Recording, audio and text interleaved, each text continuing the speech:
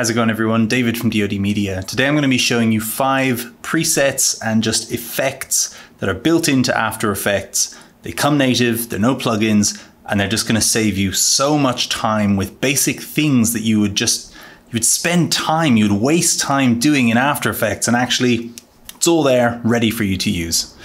Let's jump in.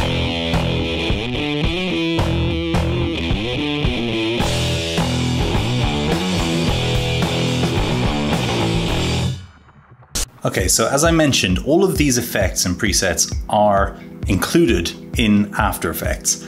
It may be that if you're on an older version of After Effects, the presets aren't in there. However, if you're on the latest CC version, then you should definitely have these. It should look identical to what I have in the presets folder. So the animation preset number one is the typewriter effect. I spend so much time making animations for clients where I have to have text that writes itself on and off the screen. And you can do this using the animation within the text properties, which I've, I've done a tutorial on it before.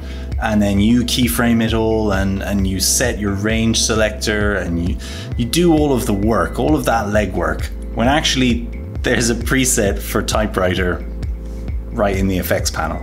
So you just come up here and type typewriter and there it is, animate in typewriter. Select your text layer, double click that, select your layer here, hit U to bring up the keyframes, and then just make it as long or as short as you want. So here, let's make it one second long, and it's gonna type in my text over one second. This, it's brilliant. You can select your keyframes, you can easy ease them so that it starts off slow and finishes slow and speeds up nicely in the middle. And if you really want to just tweak it afterwards, just hit U twice on your keyboard and it'll bring up that whole animator um, thing. Thing? It'll bring up the animator that's on your text. So if you just minimize and reopen range selector, you'll see there's start, end, offset. There's all of the properties that you might want to fiddle with to get it looking exactly what you want. But all of that legwork is already done for you. You don't have to spend let's say three minutes. I, am going to give it a realistic three minutes of going into that text property, going to animate, uh, coming in here with character offset, and then going down to your range selector, and then keyframing that, selecting what the actual character offset does. So in this case, I guess it would be opacity, and then just going through and changing your opacity, and then adding your start and adding all of that stuff. That I'm going to give that a solid three minutes every single time you do something like this where you want a typewriter effect on your text. Preset does it for you. So then the preset number two that I would say is a big time saver just because it gives something that's enough to please a client and it can look quite cool. Um, if we drop down this animation presets here and go for text, you can actually see there are a ton of different animations for your text here. You got tracking, scale, rotation paths. You know, you've just you've got loads of stuff that you can do, but you can also have a ton of animate in and animate out presets. So in animate in, for example, one that I find to be actually quite nice, quite handy, is the random word in shuffle. Hang on, let me just stretch that so you can see it. Random word shuffle in. Let's just select our text layer there. Now you see it applies it based on what it assumes your uh, comp size is. And all it does is brings your words in in a random order to fit on the screen. Now obviously it doesn't fit on the screen now, it's a little bit too small. So just hit U twice on your keyboard and then here it says position. You just drag it off of your screen and now you have a lovely animation for your text. Instead of animating every single word individually, having the position keyframes for that individually and then shuffling them around and then offsetting the keyframes so that the words will come in at different times. No, it's all just contained on that one layer from that one preset. And what's great is it's really easy to duplicate then. You just control D or command D your layer, bring the position down and let's change this to uh, DoD Media tutorial. All right, let's bring up our keyframes again.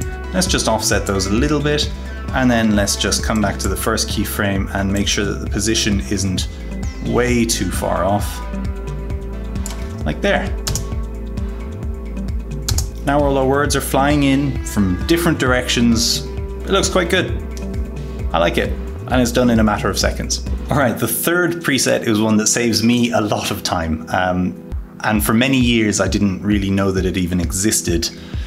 I, I do a lot of work with infographics where I have a map and I have to animate features on that map. So I'll have like, you know, New York will be the start of something and it'll have some arrows going over to a different place.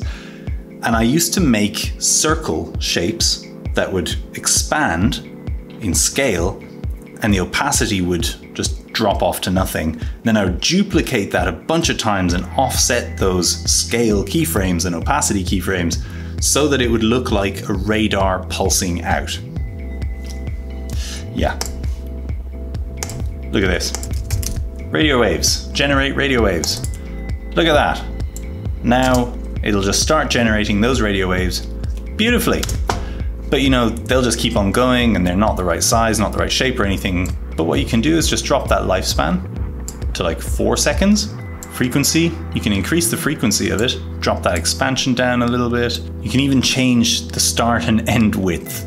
So we can make it so that they really drop down in width from the start to the finish. And now it starts pulsing out radio waves that are going to change in color, change in shape, change in width, change in opacity, and all that done for me automatically in a few seconds. I don't have to mess around with keyframes, with duplicating these layers a bunch of times so that I end up having like 30 little circle layers.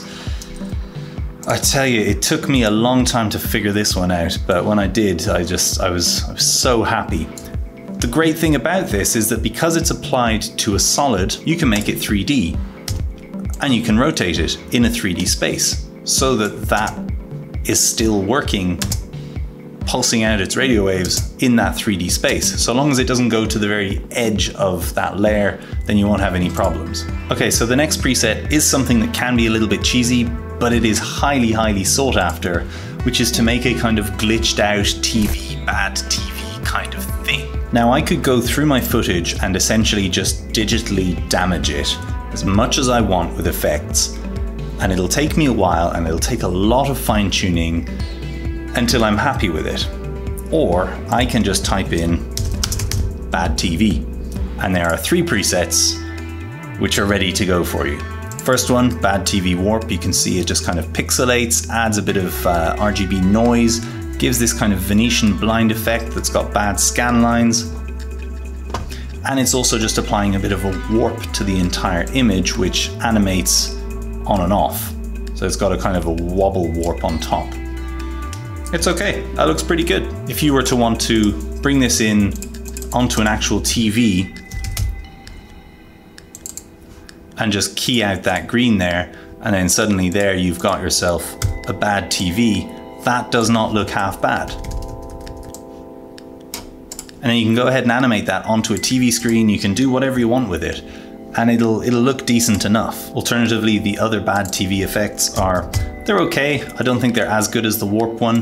Like there's old, which again it's a bit too much, and there's weak, which just that looks terrible. That looks way too much. But just the fact that that effect is there, that you can just add that in quickly and easily to your footage even if it's just as a guide to give you some kind of idea of what your bad TV footage is going to look like if you're doing this for a client, just so that they can imagine it as being degraded footage rather than just your, you know, 4K pristine quality, very modern digital footage.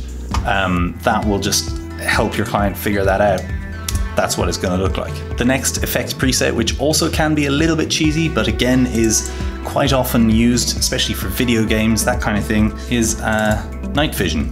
You add that to your layer, lovely. You can even make it into some goggles if you want. Let's make a solid above that. Let's make it black. Let's get little circular mask. Expand it from the middle to about there.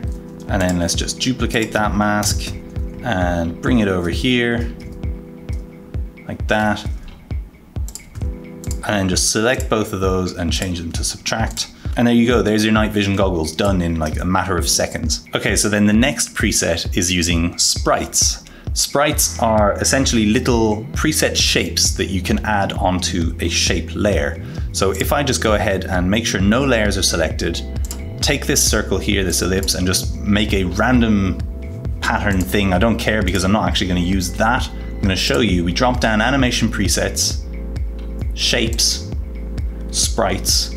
Now, sprites animated, there are some, but they're kind of crap. But the still sprites, they're actually quite good. There are some pretty good things in there. For example, you could have a crosshair in there so that you have a crosshairs for your um, night vision goggles. You could scale that up and then maybe even drop that width down to one. And there you go. That's a nice looking crosshairs. And that would have required you to create a square which has that stroke on it and then a semi-opaque fill and then you would have had to draw two lines make sure they were all aligned nicely then parent them together so that if you scaled up one it would affect all of them whereas there you literally just double clicked something and it was done and so all of these work as shapes in fact, you don't even need to have a layer selected in the first place. You can just deselect that object layer and just create a new one by double clicking and you know you'll, you'll just create something new right there like that. And of course the silent sixth, which is potentially the most helpful thing, is that when you make an effect preset or a number of effects on a clip or on anything, just select them all, come up to this little dot dot dot up here and say save animation preset. And you save that preset file to your computer so that you can then come back in and just grab all of those effects in one go, dump them on your clip, saving yourself that precious time that it took you to make that whole thing in the first place once again. All right, thank you for watching. it's been a long day. Thank you for watching. Give it a thumbs up if you liked what you saw and hit that subscribe button to get more videos like this from me at DoD Media. I also do some gear reviews over there. I'm just gonna quit while I'm ahead. See you next time.